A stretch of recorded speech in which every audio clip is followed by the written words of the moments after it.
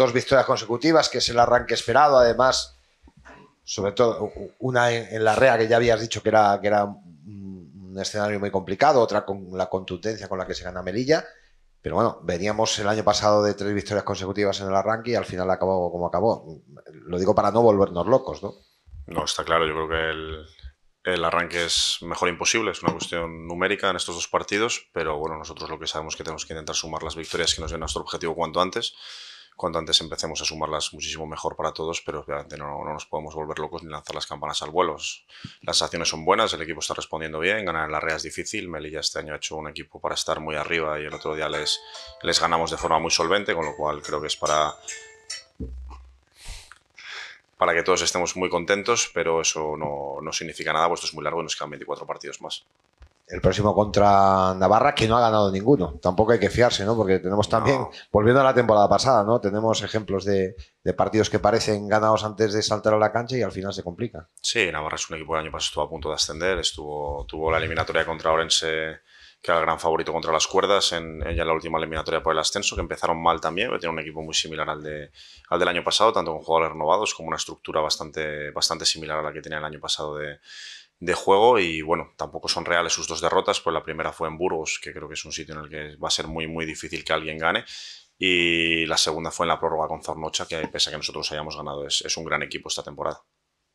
Bueno, ¿qué, ¿qué, te parece el inicio de, la competición? Cuatro equipos solamente han sumado esas dos victorias. Muy igualado, muy igualado. Como sabíamos, eh, Burgos a priori es el favorito, el que debería estar un poquito por encima de todos y lo ha demostrado con la solvencia de las dos victorias. Y luego a partir de ahí creo que la liga está igualadísima. O sea que la Roda, por ejemplo, que todavía no tiene toda la plantilla, ha sido capaz de ganar los dos partidos, pero hay equipos que, sus aspiraciones son muy altas y no han ganado ninguno han ganado uno. Bueno, yo creo que, que demuestra la igualdad de esta liga en la que todo el mundo puede ganar a cualquiera y que lo más importante es, como, como he dicho antes, ir sumando cuanto antes.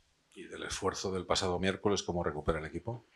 Pues complicado, complicado, pero bueno, es algo con lo que, con lo que ya contábamos y con lo que espero que, que le pese también a, a, nuestro rival que viene de jugó el miércoles por la mañana y no por la tarde, pero viene a jugar una prórroga y creo que es algo con lo que todos nos tenemos que, bueno, que saber vivir en esta triple jornada que, ha marcado la federación de inicio y bueno, nosotros por lo menos pudimos rotar, pudimos dar minutos a todo el mundo, conseguimos que nadie pasase, nadie se acercó a los 30 minutos, con lo cual creo que es algo muy positivo de cara a la recuperación, pero bueno, ayer no pudimos entrar con contacto, como es lógico, un día después de, de competir, hoy sí que haremos un poquito de contacto por la tarde e intentar preparar el partido lo mejor posible.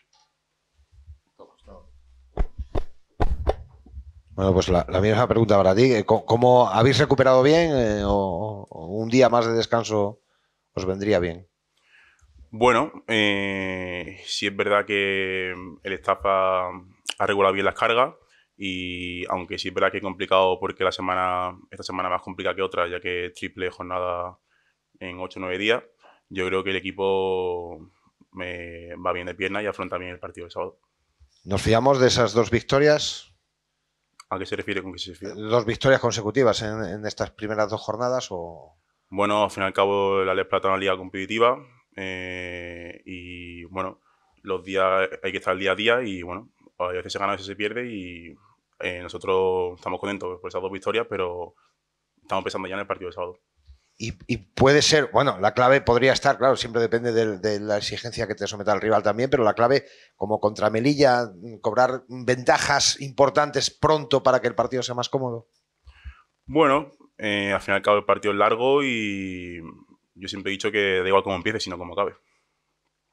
En principio, al fin y al cabo, puede empezar de una manera y otra, pero hay que estar ahí para acabar lo mejor posible.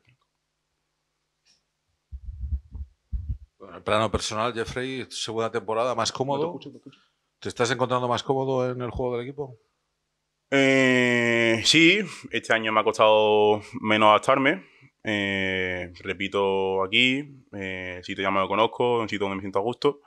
Y la verdad que yo personalmente estoy bastante contento. No me está, me está costando bastante menos que el año pasado, por ejemplo, adaptarme al, a la ciudad en sí y al equipo también.